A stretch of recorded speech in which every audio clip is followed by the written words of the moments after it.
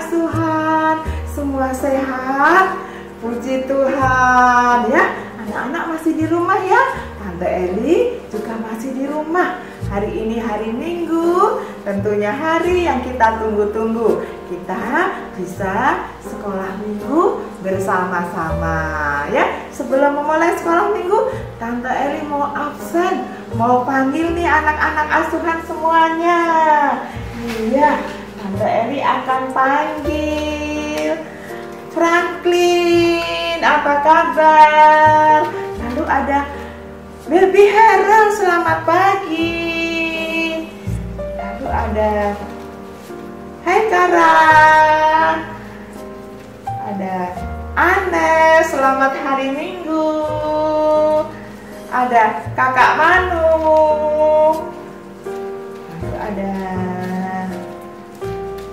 Eknan.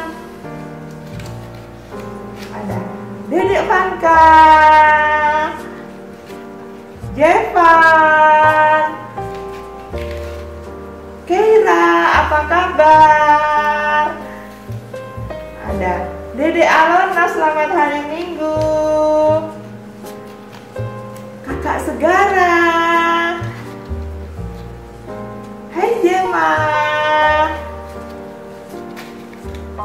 Baby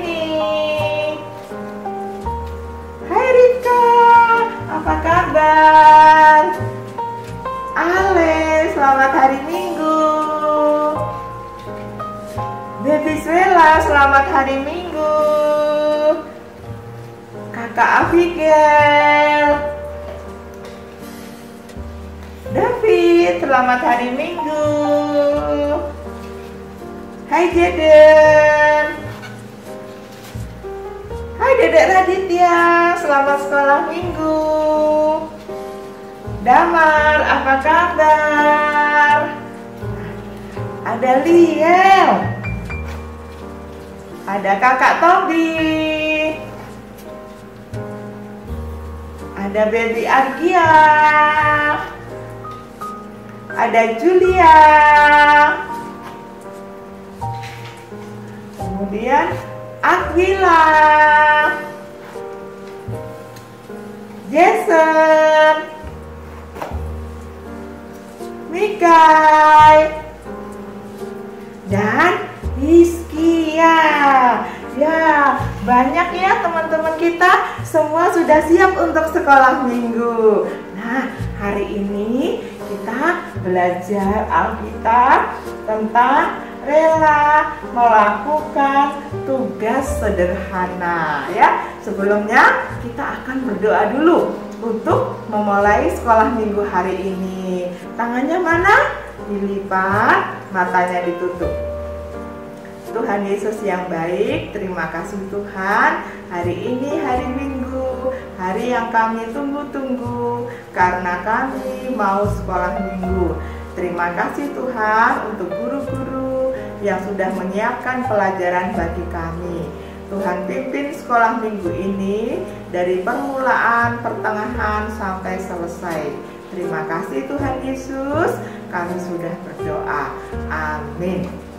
Nah, Tante Edi ingatkan kita tetap memberikan persembahan.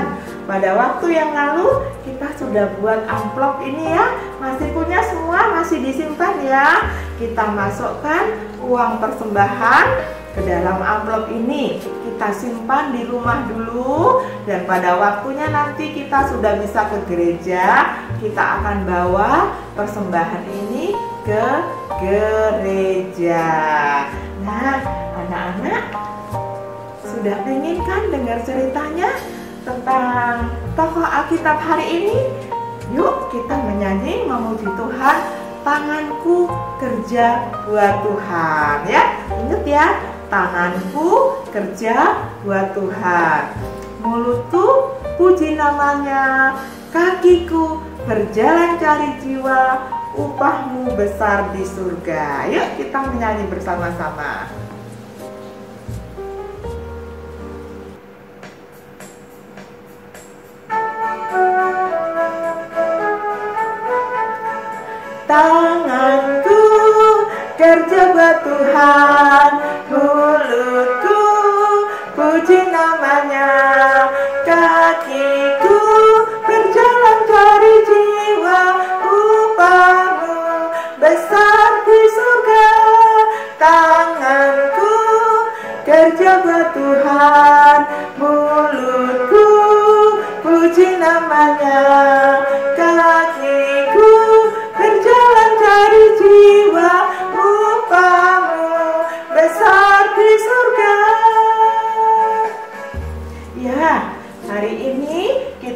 belajar tentang seorang tokoh rela melakukan tugas sederhana. Siap-siap ya, kita hari ini mau dengar cerita. Anak-anak siap duduk manis ya, dengar cerita Alkitab hari ini ya. Selamat sekolah minggu semuanya. Halo adik-adik, selamat hari Minggu.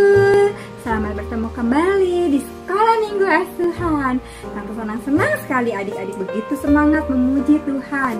Iya, sekarang sudah pada duduk manis. Waktunya untuk mendengarkan cerita Alkitab. Cerita kita Alkitab hari ini diambil dari Filipi 2 ayat 25 sampai 30 dan Filipi 4 ayat 18. Sebelum mendengarkan cerita dari Tante Sanda, kita akan memuji Tuhan. Ayo adik-adik, mana Alkitabnya? Tunjukkan. Kita menyanyi. Buka Alkitab setiap hari, ku membacanya dengan papa mama. Ku belajar banyak dari firman-Nya, taat setiap hari dan terus menjadi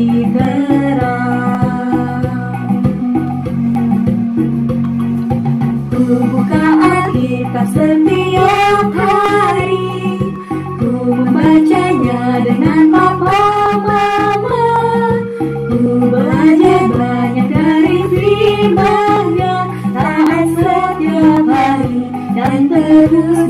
Ya.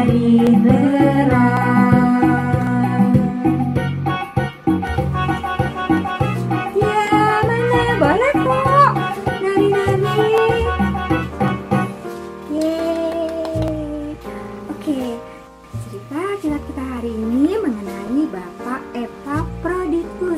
Bapak adalah teman kerja Paulus. Adik-adik masih ingat nggak dengan Bapak Paulus? Yang beberapa minggu lalu pernah Tante Sarang ceritain yang dia masuk penjara. Nih Tante Olin akan menampilkan gambarnya. Yeay, lihat nih adik-adik gambarnya Bapak Paulus. Ya, ada yang bilang, oh iya aku ingat Tante Sanda itu Bapak Paulus yang dipenjarakan. Iya, Bapak Paulus dipenjarakan, tapi Bapak Paulus tidak pernah bersedih. Karena apa? Bapak Paulus selama di penjara selalu menulis tentang kasih Tuhan.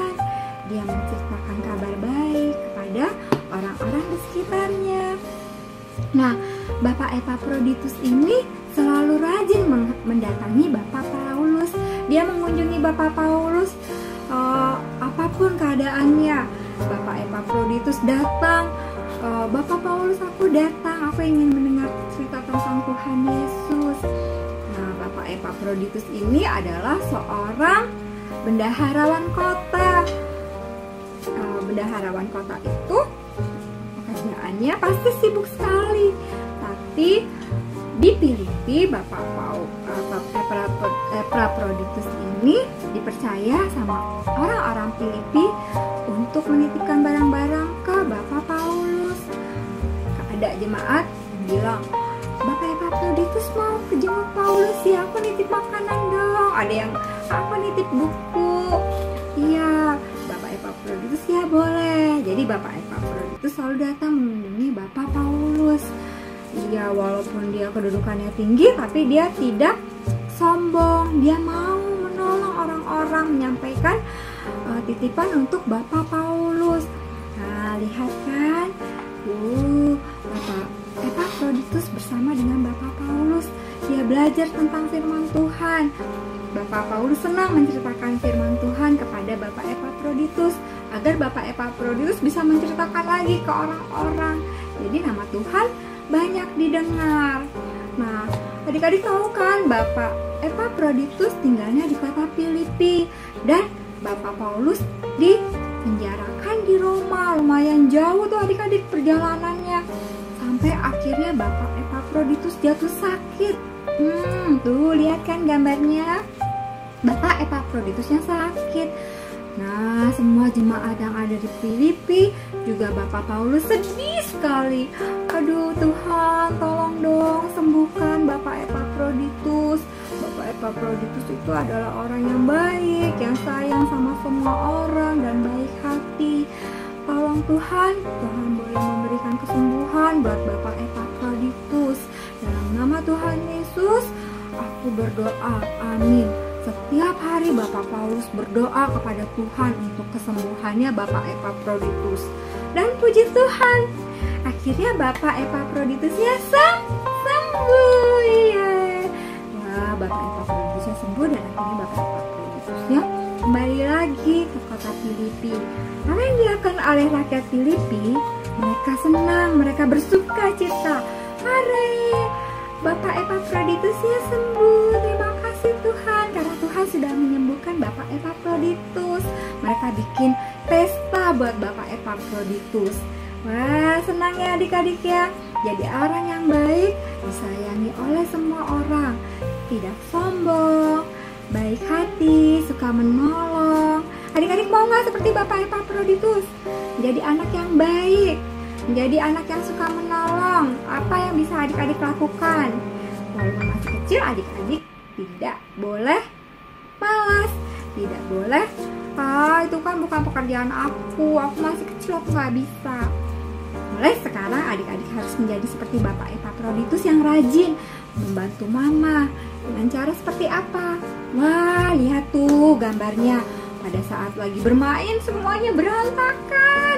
Mainan mobil-mobilannya di ujung sana bolanya di ujung sini. Aduh berantakan sekali.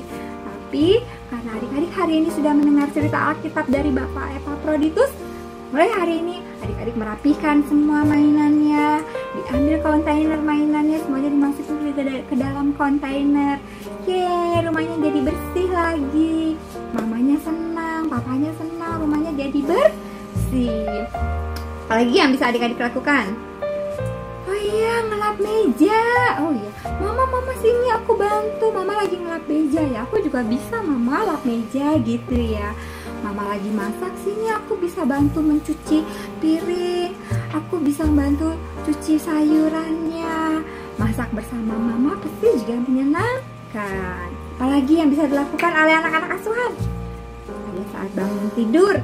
Ya, pada saat bangun tidur kadang-kadang bantalnya ada di bawah, selimutnya berantakan. Apa yang bisa anak-anak asuhan lakukan? Anak-anak asuhan pada saat bangun tidur adalah berdoa, mengucap syukur kepada Tuhan. Tuhan boleh menjaga sepanjang malam dan boleh bangun pagi dengan badan yang sehat. Setelah anak-anak selesai berdoa, bantal yang jatuh diangkat ke tempat tidur, selimutnya dilipat yang rapi, Wah, nanti kalau mama papa masuk ke dalam kamar, ye, kamarnya bersih, mama papa senang. Terus seperti tadi, cerita Tante Sona, Bapak Paulus berdoa untuk Bapak Epaphroditus yang sedang sakit. Wah, adik-adik suka berdoa juga nggak?